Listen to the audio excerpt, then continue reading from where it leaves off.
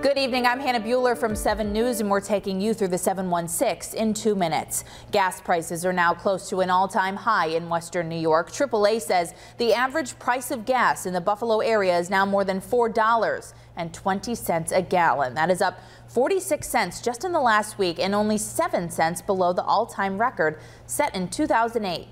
School life is back to normal at McKinley High School. Students in all four grades returned to the classroom for the first time since last month's attack. Two students and a security guard were injured. Students spent one staggered day at school last week. Chautauqua County leaders want to hear what people think about broadband expansion plans. A broadband assessment survey will help them spot parts of the country that need service the most. The survey must be completed by March 18th and can be done over the phone or online.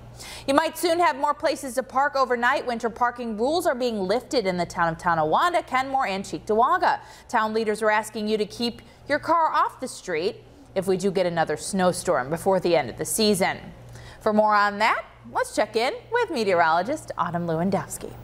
Well, as we go throughout our day tomorrow, we're going to find a chilly beginning as temperatures start in the 20s, but we'll end up in the mid 30s as we end the day. We'll also get a bit more sunshine as well. Not as much wind, but it's going to be one that we deal with a little more cloud cover in the morning than we do in the afternoon. And any lake effect snow showers are a little further to the east towards Rochester, in between Rochester and Syracuse, sunnier into the afternoon. Then by Wednesday, we're going to have the clouds thicken we're watching this next system that will be along the east coast that could bring in some snow showers across the southern tier into the afternoon. Otherwise, expected to be a mostly cloudy day. By the time or from Wednesday into Thursday, we're in the low 40s, 50 on Friday, back into the 30s with snow this weekend.